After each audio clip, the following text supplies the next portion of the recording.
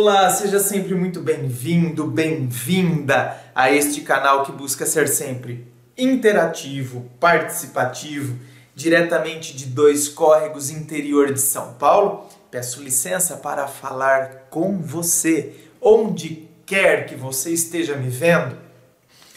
E vamos lá, tem um relato, um relato e-mail de hoje que diz assim: Olá, André, tudo bem? Tudo ótimo. Me chamo tal, tenho tantos anos, sou homossexual. Dia. Tá, né? Em outubro. Não vamos especificar tanto dias assim, né? Conheci um cara pelo aplicativo. Enfim, não sei como se pronuncia isso, então nem vou falar. É, começamos a nos falar, até que no dia seguinte ele passou o número do celular dele para eu o adicionar no WhatsApp para a gente poder conversar melhor.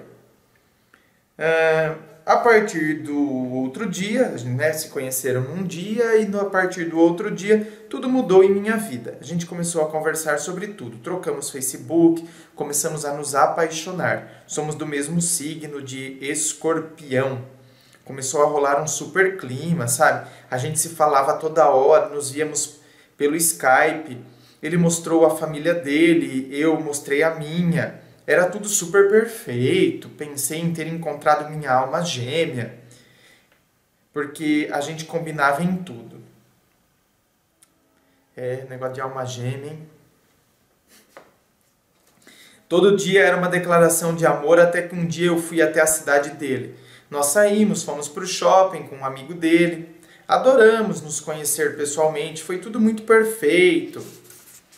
Até que mês passado, um amigo dele me contou que ele tinha um ex e que havia terminado em junho e que o relacionamento durou um ano e tinha su sido super intenso, que acabou por ciúmes da parte do ex. Quem largou foi o ex. O amigo ainda me disse que eles tinham vários motivos para terem largado. E o menino que eu gostava tinha sofrido muito pelo término e que ele tinha ficado muito mal mesmo. E então os dois não se olhavam na cara, não saíam nos mesmos lugares e ainda por cima os dois estudam na mesma sala. Antes de se conhecerem, eles eram muito amigos, sabe? Super grudados, um não respirava sem o outro, e os dois acabaram se apaixonando. E eu não sabia que tinha sido tão recente, já comecei a ficar com aquela pulga atrás da orelha. O menino que eu gostava me falou que era melhor eu saber do passado dele. Até aí, o admirei por ele confiar em mim. E eu também nunca tinha tido nenhum relacionamento tão intenso com alguém. E o amigo dele me disse que ele ficava numa situação meio tensa, porque ele era amigo dos dois e queria sair com os dois nos lugares, mas um não olhava na cara do outro. Então, o amigo deles me disse que eles precisavam conversar para pelo menos serem amigos. Pois o amigo deles me falava que tinha vezes que. Ei, amiguinho fofoqueiro também, não? É? Eita, nós gosta de, né? Falar. falar. Tinha vezes que ele não saía para não ter que escolher com quem sair. Os amigos insistiam muito para os dois conversarem, para serem amigos e para poderem sair todos juntos. Até que, em uma bela terça-feira, o menino que eu gostava veio me falar que ia conversar com o ex depois da faculdade para resolver alguns assuntos. Bom, eu deixei porque não tinha como impedir essa situação. E também pensava que ia resolver logo de uma vez por todas essa história, pois eu queria que ele se libertasse Olha.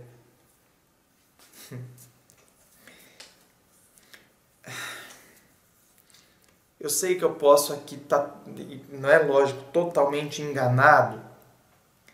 Mas você já parou para pensar do porquê o amigo do seu namorado ter falado tanto e ter se justificado tanto?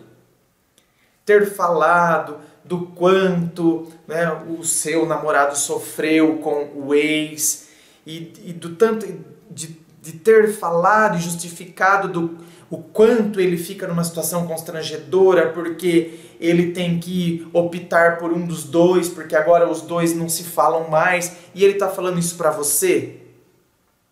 Né? Por que, que ele tem que se justificar tanto? Ah, eu fico numa situação chata porque né, eu sou amigo dos dois, que agora são ex, né?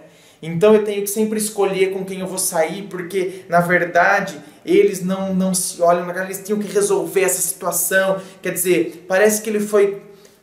Parece que ele foi ajeitando o terreno com você, falou tudo isso. Na verdade, será que ele não força a barra para que os dois voltem? Porque é mais cômodo para ele como amigo, não é? se ele se sente tão incomodado porque ele, que é amigo dos dois, agora os dois brigaram, os dois são ex, aí eles ficam disputando, quer dizer, eu tenho que se eu vou sair com um, o outro acha ruim. Então, quer dizer, agora você, você que me mandou e-mail, você entrou na jogada. Então, um dos dois agora namora você. Então, pera lá, agora, mas. Ixi, é um rolo danado. Só estou te dizendo, presta mais atenção no que esse amigo do seu namorado, eu acredito que talvez para ele é interessante que você saia da jogada e que os dois voltem. Só que é lógico, quando ele vai conversar com você, ele, por que, que ele tem que justificar tanto? Porque ele não pode falar para você que ele quer que os dois voltem, porque aí ele fica mal com você. E me parece que ele é o tipo de pessoa que não quer ficar mal com ninguém. Ai, às vezes eu nem saio de casa. Ó como eu sofro. Ó como eu sou, né?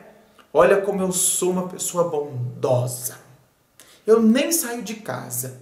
Porque então eu abro mão da minha diversão. Porque eu, se eu tivesse que optar por um dos dois. Como eu sou uma pessoa assim, não é? Tão desapegado, despojado. E eu, eu deixo a minha diversão, a possibilidade de eu me divertir, porque eu não quero desagradar nenhum nem outro. E agora estou aqui falando com você, mostrando o quanto eu sou desapegado, né? E até assim, nas entrelinhas, preparando o terreno para que você não ache ruim quando o seu namorado for conversar com o outro. Mas a minha intenção é que eles se acertem. Aí depois você vai ficar mal com aquele que terminou com você. E eu fico bem de todo mundo. Volto a ficar bem com os dois e fico bem com você de novo. Por, e fico bem com você porque você não considera que fui eu que fiz com que os dois voltassem. Ai, ai, ai, ai, ai. Ô, oh, novela mexicana! Eita, nós! Canavial da Paixão! Maria do Bairro! Ai, como tem gente que às vezes, né? Simula tanta bondade e preocupação, quando na verdade está mais preocupado com o próprio umbigo.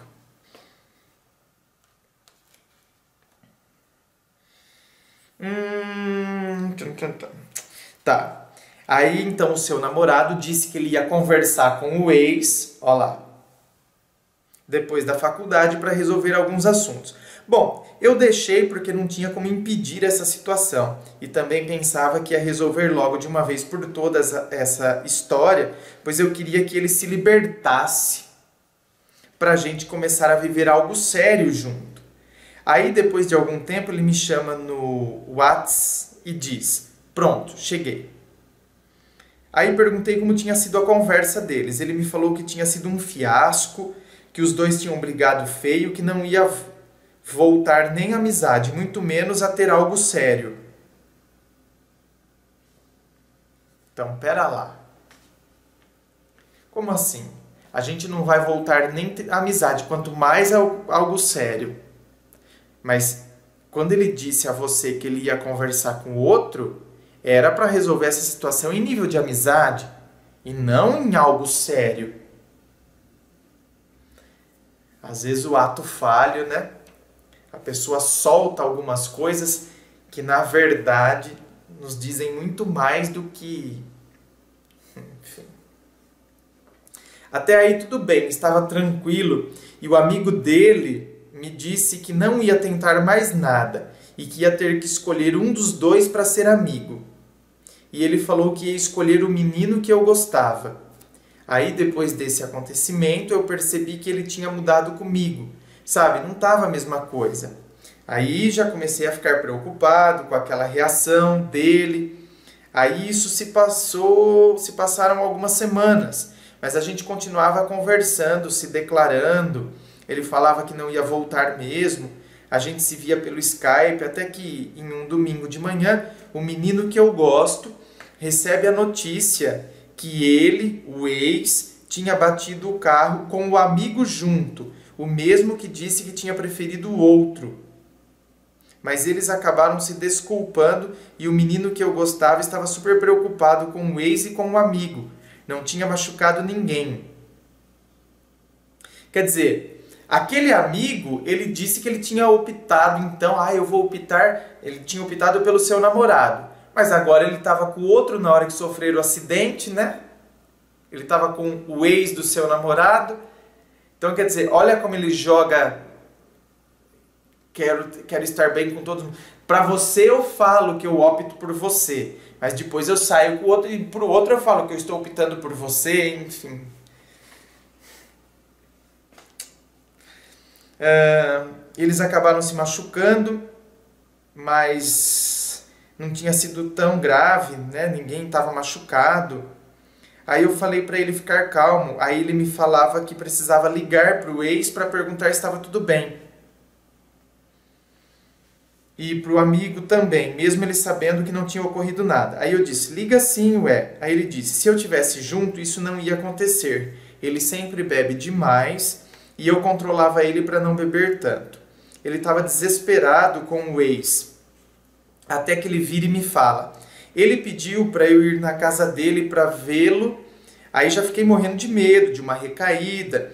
E ele foi e eu deixei ele ir também. Aí quando ele chegou, eu liguei para ele, para a gente conversar e para perguntar como tinha sido. Ele me disse que tinha sido de boa, que os dois não tinham brigado, me falou como tinha sido o acidente. Aí o carro dele quebrou e tinha uma festa para ir no sábado. E ele me disse que ia dormir na casa do ex. Ele ia dormir na casa do ex porque ele estava sem carro. E o amigo ia dormir junto. Ai, que bonitinho! O Cupido conseguiu o que queria. O amigo ia dormir junto e era para eu ficar calmo, que era só amizade, não ia rolar nada. Ai, ai, clorofilada, você é ingênua. A peixe não.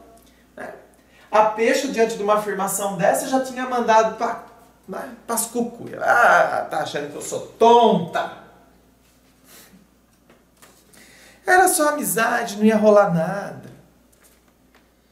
Nossa, eu fiquei muito mais preocupado do que antes. Eu querido, né? Eu disse, meu Deus, como pode voltar uma super amizade tão rápido assim? Até algum tempo não olhava um para a cara do outro. Agora um já vai dormir na casa do outro como se nada tivesse acontecido. Amizade, amizade.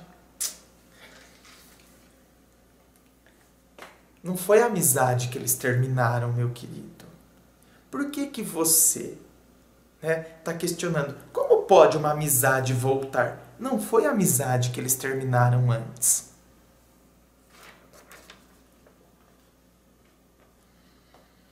Fiquei bravo, sabe? Falei para ele que estava incomodado com essa história e tal, mas no fim das contas, nenhum deles foi para a festa, todos ficaram nas suas casas no final de semana. Confesso que fiquei aliviado em saber disso, pois eu não moro na mesma cidade que ele.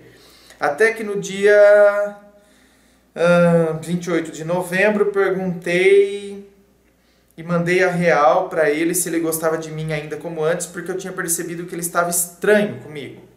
Aí ele me responde sinceramente que, é, sinceramente, estou confuso. disse que conversar com o ex deixou ele bem mexido, fez ressurgir um sentimento que estava adormecido dentro dele e que achava melhor a gente ser amigos, porque ele me adorava, ria muito comigo e maneirar em relação a ter algo a mais, que ele me respeitaria na decisão que eu escolhesse entre ser amigo dele ainda ou não ser nada. Eu preferi ser amigo dele, porque acho que se eu excluísse ele seria pior. Confesso que adorei a sinceridade dele, mas eu fiquei arrasado. Chorei a tarde, noite inteira, porque eu não queria que tivesse acabado assim. Sabe, sonhei com ele duas noites seguidas e estou ainda muito triste porque eu amo demais.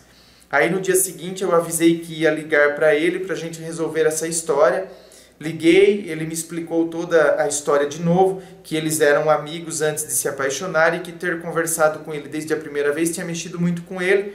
Eu falei é, tudo que estava sentindo, que tinha medo que ele sofresse pelas mesmas coisas com o ex, que eu amava, que ia sentir saudades do tempo que a gente ficou junto.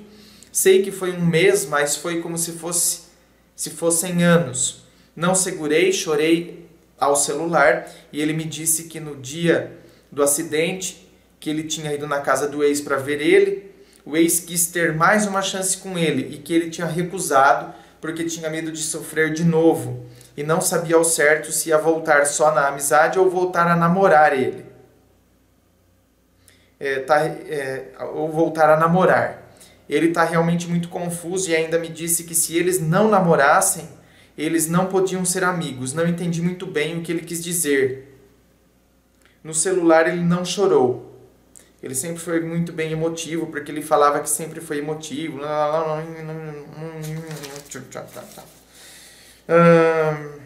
tentei contar resumidamente nossa história. Confesso que estou muito abalado e triste, mas a gente continua conversando como amigos e eu ainda tenho esperanças porque se eles voltarem a ter algo, vai acabar pelo mesmo motivo da primeira vez. Porque uma pessoa não muda tão rápido assim. No começo vai ser perfeito, mas depois ele vai voltar a ter o mesmo ciúmes de antes. Por isso ainda acho, tenho esperanças, mas ainda eles não voltaram a ter algo sério de novo. Estão apenas saindo como amigos. Não. Eles não estão saindo como amigos. Para de se enganar, meu querido. Para. Ele, ele não falou para você que não dava para ele voltar com o outro como amigo? Agora você vem me dizer que eles estão saindo como amigos? É, para de se enganar, meu querido. Ó, realiza. Realiza. Pezinho no chão. Tá? Pezinho no chão. Às vezes o coração fica tão inflado que ele nos levanta, né? Os pezinhos saem do chão e deixam de pisar a realidade tal qual ela é.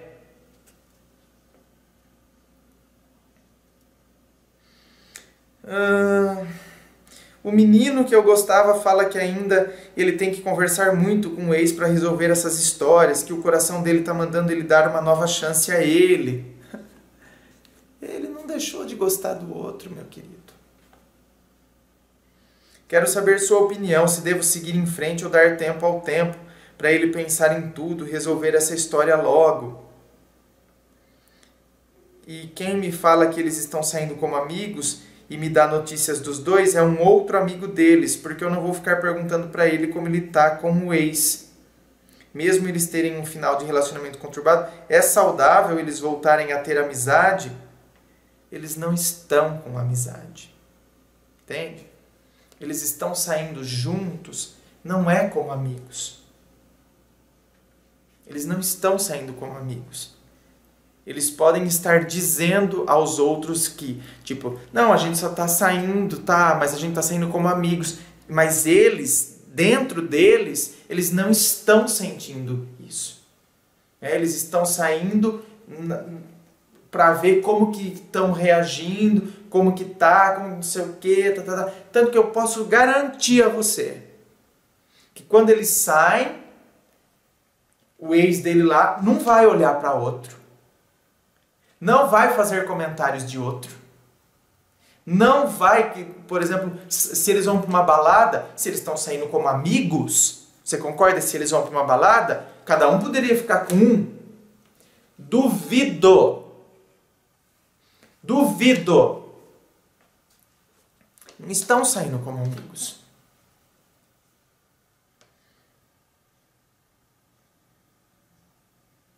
Muito obrigado pela atenção. Quando for gravar a resposta para minha história, peço que me avise, porque eu não tenho tempo de entrar todo dia na net. Muito obrigado, abraço, espero sua resposta.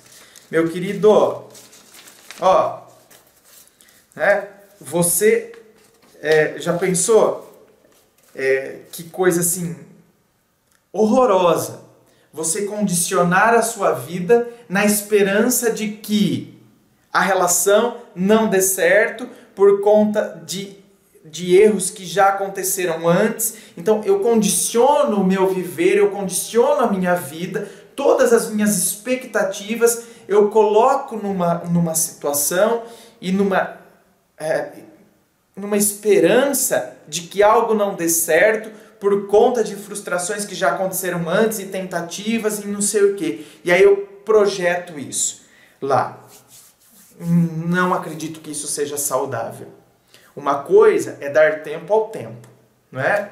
Você não precisa se lançar numa nova relação apenas por é, se lançar, apenas por querer é, esquecer. Então eu uso alguém para esquecer uma. Uma coisa é dar tempo ao tempo, eu entender que é um processo, eu decidir pela minha própria vida, por seguir a minha vida. Se lá na frente ou depois ele se frustrou, aconteceu alguma coisa lá atrás, não sei o quê, não sei o quê, e ele volta a conversar comigo, ué, aí eu vejo o que, como eu estou processando isso. Agora, eu não posso conduzir a minha vida e vou então me re, vou recusando viver, me abrir a novas possibilidades, inclusive de conhecer outras pessoas, vou recusando na esperança de que amanhã ele se frustre e venha atrás de mim.